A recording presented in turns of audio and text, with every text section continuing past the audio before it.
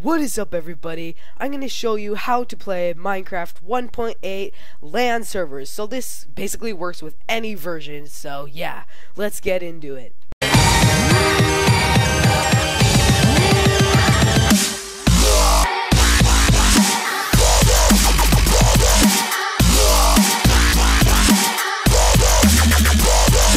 Alright guys, so I have two computers here showing that I have two different computers on the same local network or Wi-Fi network if you were to say. Uh, they're both running Windows 8, but they will work on like Windows 7 or anything earlier. So let's get into the tutorial. Alright guys, let's get right into this. This is actually a very simple process. Just follow the steps what I do and you'll be playing LAN Minecraft local servers in no time with your family or whatever friends on the same network as you.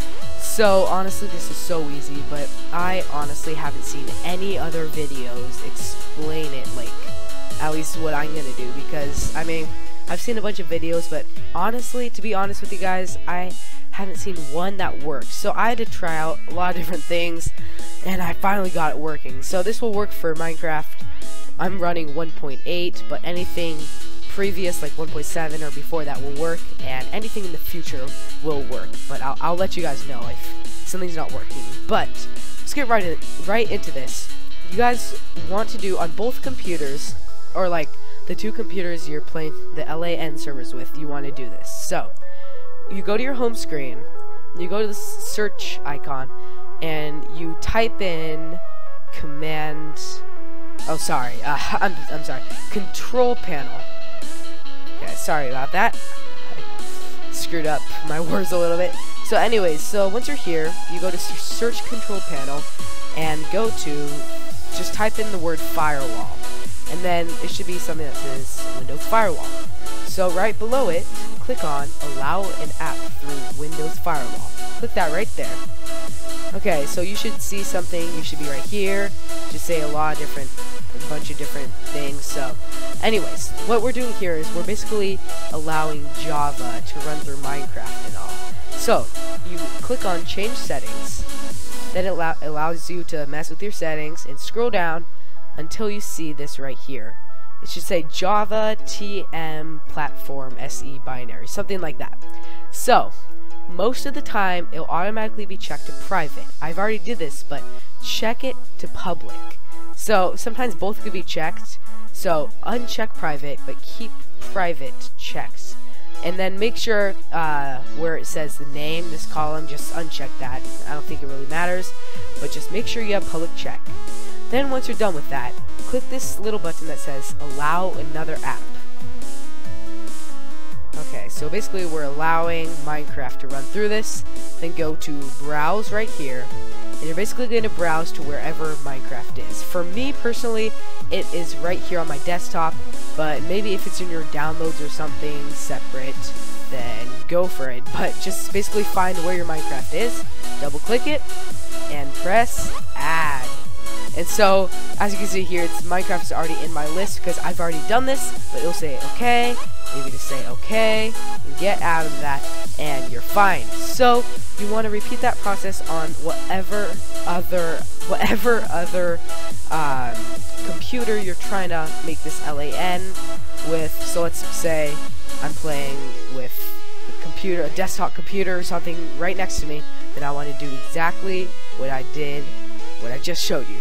So if you want to see that again, just you could just replay it, repeat the steps, and also if it doesn't let you, or if Java doesn't show up, then that means you don't have Java installed, but you should, because if you're playing Minecraft, then you have to have Java installed. So, just repeat those processes, and I guess just pause the video, and yeah, let's go into the next step.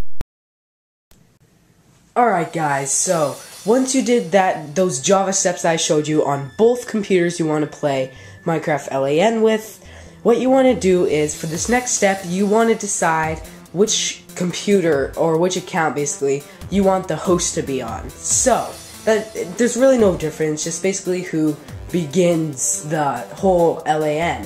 So for this step, I'm going to choose that computer to be the host of the Minecraft LAN server, but it honestly doesn't matter. Alright guys, so this next step, you only have to do this next step on the host's computer. You do not have to do this on whatever other computer you're doing LAN on. So to get started, let's first run Minecraft.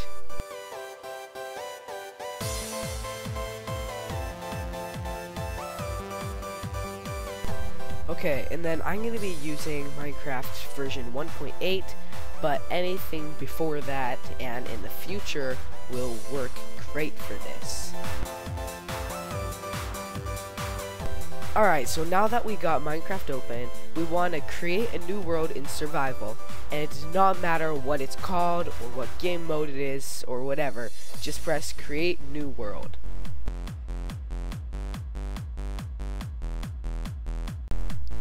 Okay, so now that we have a single player survival world running, yes, it's a little laggy for me, what you want to do is press escape, and then go to open to LAN, and all these things, you don't have to put on these settings, they're optional, but press start LAN world.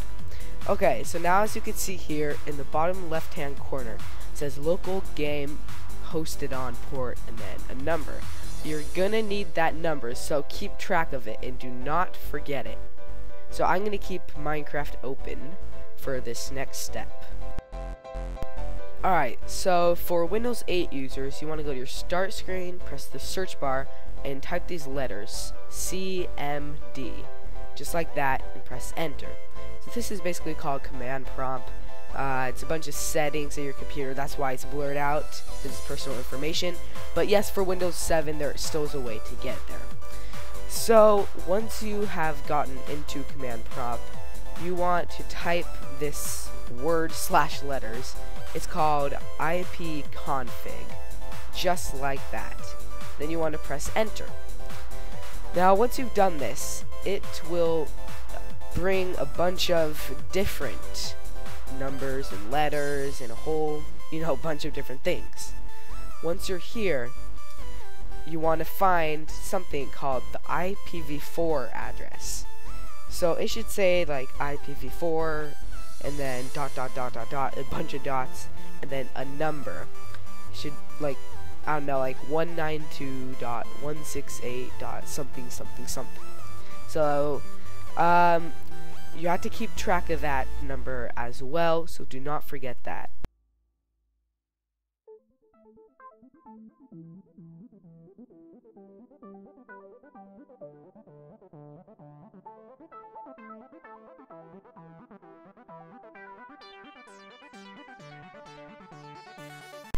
Okay, so in a Word document, I am writing down that IPv4 address, so I will not forget this. This is optional.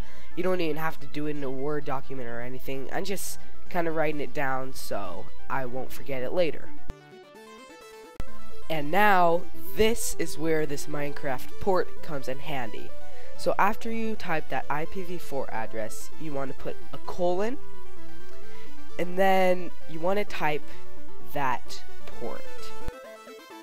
Okay, so we got the steps needed to be done on this computer. Now let's head over to the other one.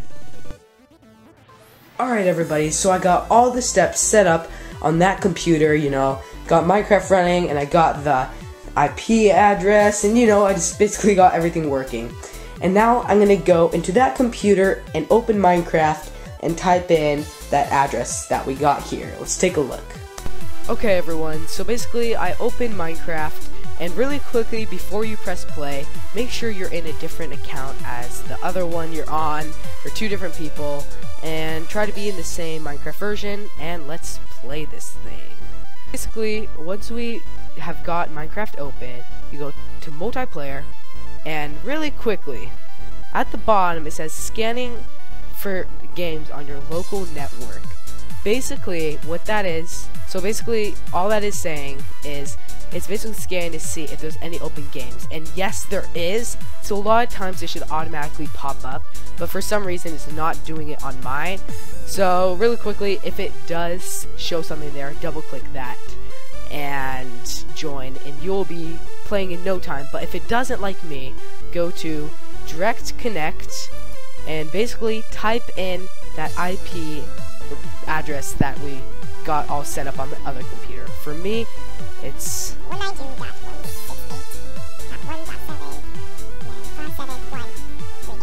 Okay guys, so basically this is the address that I got, that we got all set up on the other computer. Of course it's going to be different for you.